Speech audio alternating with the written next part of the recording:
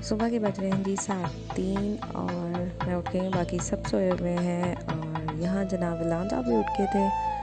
तो उसके लिए जी मैंने सोचा मैं जाके किचन में कुछ बना लूँ। सारे सो रहे थे और मुझे ये था कि ज़रा खटखट होगी ना कोना पे उठ जाएगा क्योंकि बाहर सहन में भी थे, आधे लोग अंदर थे, दूसरे रूम में भी थे, क्योंकि हम लोग रात से बाजी की तरफ़ आ गए हुए थे। सो आठ बज रहे हैं और दान के लिए मैं अब जाऊँगी सेलक बनाने। सेलक मैं उसके लिए ले आई थी, उसके दादा को पकड़ा के।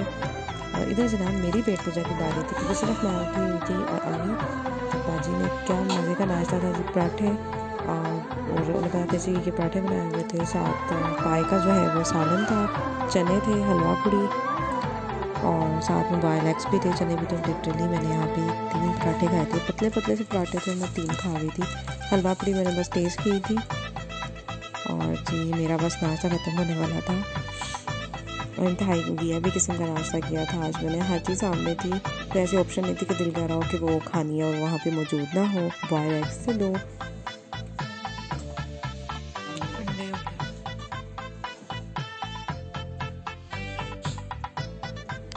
और एक साइड पे योगर्ट के लिए जो है, वो शुगर वगैरह रखी हुई थी।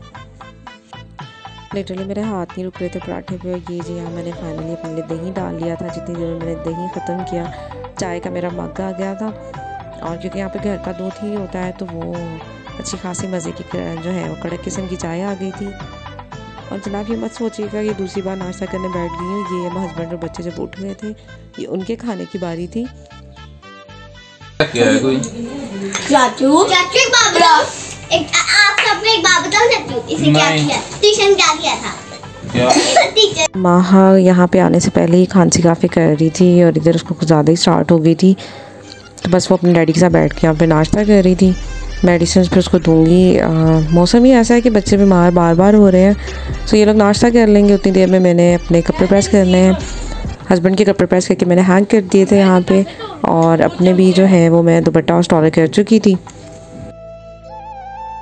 आप थोड़ा इधर हो पूरा कर दान को मैंने तैयार कर दिया था। बाकी सारे भी तैयार हो गए थे, बाजी को भी कर दिया था और अलीज़ा उसको सुला रही थी। फिर मैं भी रेडी हो गई थी, भाई आज कोई पंजाबी कुड़ी वाला गेटअप था मेरा। और हिजाब किया हुआ था साथ मैंने। मेकअप आई थिंक पता चल रहा नहीं चल रहा, क्योंकि लाइट का काफ़ी इशू था यहाँ पे। तो ये वाली गोल्डन इसके साथ शलवार है, पटियाला या बनी हुई है। और ये मेकअप किया था। लाइट में नहीं, इतना खास पता लग रहा। और शादी वाले मैंने खड़े पहने थे। और ये विलदान को जो है वो ये ड्रेस पहनाया हुआ था सो रहा था इस टाइम वो। और माहा को भी माशा रेडी कर दिया था वो रेड कलर की ड्रेस उससे अच्छा लग रहा था शर्ट थी वूल में रैबिट वूल में। हस्बैंड कह रहे थे कि बस अब जल्दी से बैठो ऑलरेडी काफ़ी लेट हो गए हुए हैं क्योंकि लड़की वाले थे तो वेलकम करने के लिए पहले से मौजूद होना तो बेहतर है ना। सो बस आ, सारे गाड़ी में आ गए थे आधे लोग जो हैं वो दोबारा कैरी डब्बे में बैठे हुए थे। इस लाइट में शायद आपको मेरा मेकअप नज़र आ रहा है कैसा लग रहा है? मुझे तो अच्छा लग रहा था, आप लोग कमेंट में ज़रूर बताइएगा कि मैं कैसी लग रही थी। और ये वाला जो क्लिप मेरा होता है ना मैंडेटरी है। इसके बगैर तो भी मेरी वीडियो कंप्लीट नहीं होती, अगर हस्बैंड ड्राइव कर रहे हैं या हम लोग कहीं गए हुए हैं तो। बादाम फ़िलहाल मेरी गोद में था, माहा जो है, उसको पीछे उसकी चाची और कज़न की गोद में बिठाया हुआ था। माहा कब से इतनी तंग हुई पड़ी थी कि वो अच्छी खासी सुस्त लग रही थी। यहाँ भी क्या है कि उसको स्माइल करवाना पड़ा था। फाइनली जो है, वो हम लोग मेन रोड पे निकल रहे थे। बस ये मेन रोड पे था, ज़्यादा घर से दूर तो नहीं है। और ये जी सर्विस रोड पे हो गए थे और बस हम लोग सामने ही बिल्कुल है, वहाँ पे पहुँचने वाले थे। लोग बच्चे भाग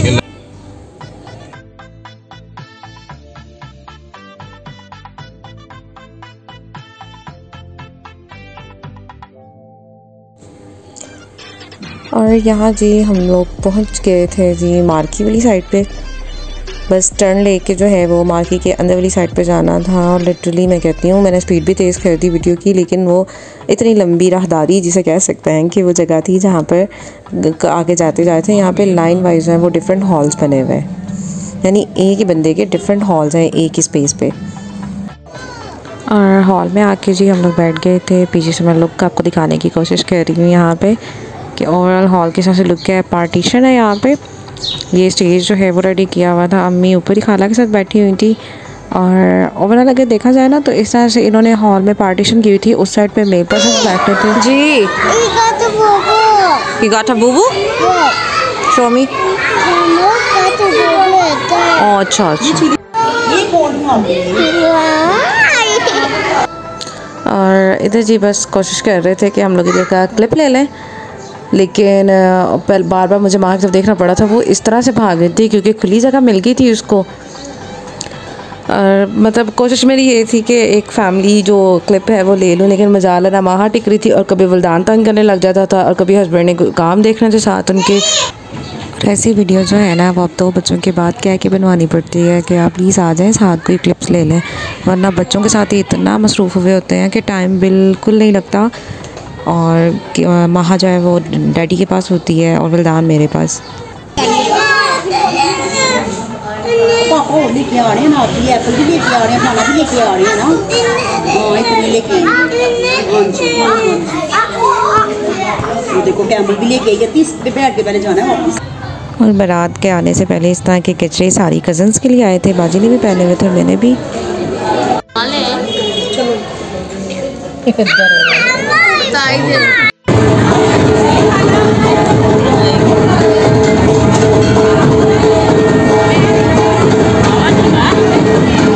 बारात के आते ही माहा ने तंग करना शुरू कर दिया था। तो जी वो चीज़ लेके आके बैठ गई थी। इधर सबको जो है बाजी ने लेके दे दी थी आइसक्रीम्स। और दुल्हन का क्लिप मैंने ज़्यादा नहीं लिया है क्योंकि वो रूम में थी थोड़ी लेट आई थी। तो बस उसके फ़ौर बाद ही जो है, वो खाना लग गया था बॉटल्स रखती थी।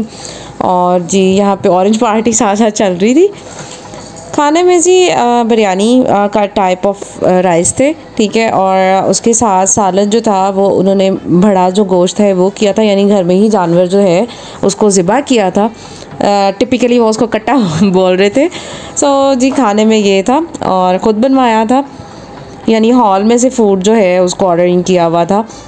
और साथ में सैलड वगैरह था बॉटल्स थी। इधर जी सब खाने में मसरूफ़ थे।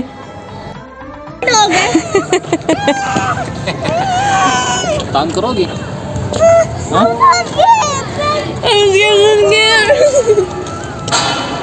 यहाँ पे ना उन्होंने सेफ्टी के लिए कुछ मतलब डॉग्स रखे हुए थे और वो नॉर्मली साइज़ से काफ़ी बड़े थे तो वहाँ उनको देख के बहुत ज़्यादा डरी थी क्योंकि उन्होंने इतनी ऊँची ऊँची आवाज़ निकालना शुरू की हुई थी कि माँ जो है ना वो डरती जा रही थी।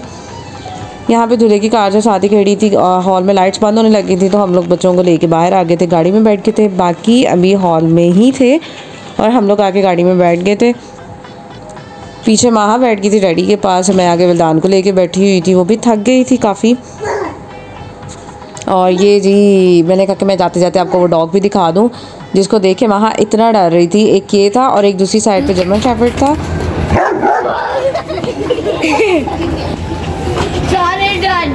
कोई से फिर खाना को डालता खाना कैसे डालता हम लोग तो जी घर आ गए थे और उसके बाद अम्मी बाजी और हस्बैंड भाई वगैरह जो हैं वो खाला की तरफ़ चले गए थे यानी शादी वाले घर हम लोग बाजी की तरफ़ आ गए थे। और यहाँ का ये जो सैलड है वो मुझे बहुत पसंद है। ये cream fruit chaat kind of है तो बहुत पसंद है मुझे। बाजी जाते जाते अपने हस्बैंड कह कही थी कि आपने चीज़ें इनको ला के दे देनी है तो वो यहाँ पर दो बॉक्सेस हम लोगों को दे गए थे।